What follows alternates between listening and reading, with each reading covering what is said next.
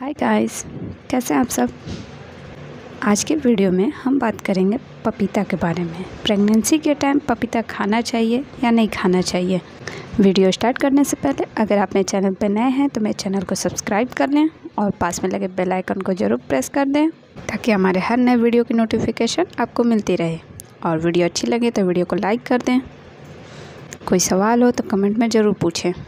Video को start करते हैं। आज के वीडियो में हम बताएँगे आपको प्रेगनेंसी के टाइम पपीता खाना चाहिए या नहीं खाना चाहिए, क्योंकि बहुत सारी ऐसी धारणाएँ हैं कि पपीता खाने से प्रेगनेंसी अबॉर्ट हो जाती है। प्रेगनेंसी के दौरान पपीता नुकसान करता है। तो हम बताएँगे कौन सा पपीता प्रेगनेंसी के दौरान नुकसान करता है, जिसकी वजह से अबॉर्शन हो जाता है।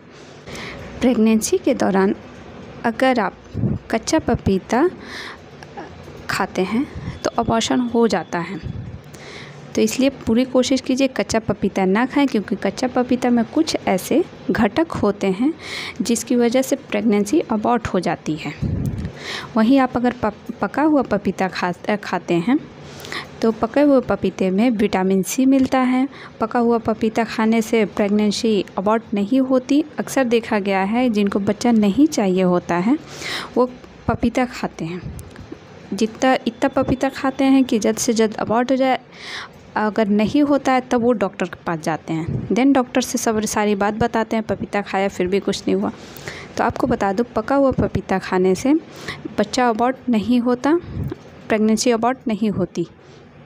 बल्कि प्रेगनेंसी के दौरान आपको पपीता खाना चाहिए, जो पका हुआ पपीता है, वो खाना चाहिए, उस, उससे कैल्शियम, विटामिन और पानी की कमी पूरी होती है।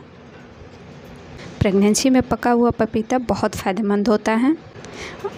इस बात का ध्यान रखें कि कच्चा पपीता बिल्कुल ना खाएँ उस दौरान, प्रेगनेंसी के दौरान, क्योंकि कच्चा पपीता खाने से प्रेगनेंसी अबॉर्ट होने का चांस रहता है।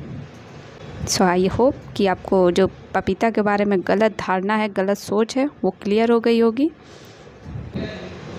आपका कोई सवाल हो तो ज़रूर पूछिएगा।